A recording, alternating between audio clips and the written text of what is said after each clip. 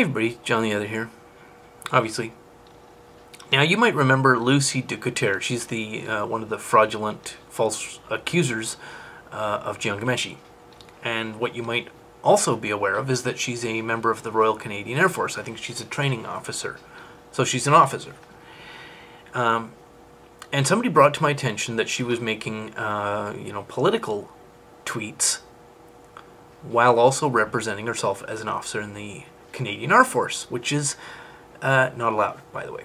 It's a you cannot be self-identifying as a, an officer in the Canadian Air Force or any branch of the Canadian military while also engaging in public political commentary. That's just just that's a no-go.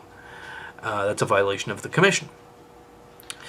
And somebody pointed this out to me, so I uh, read her tweets. One of which says, um, specifically says, Actually, I am an officer in the Royal Canadian Air Force, and U.S. foreign policy ties in very closely with Canadian. That's her tweet.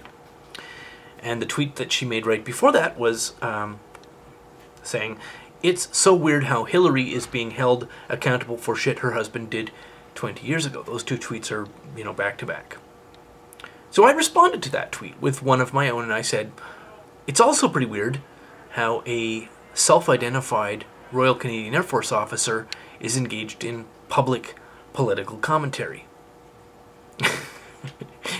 the punchline is that rather than take those tweets down, the ones that violate her commission and um, could be cause for disciplinary action, she left those up.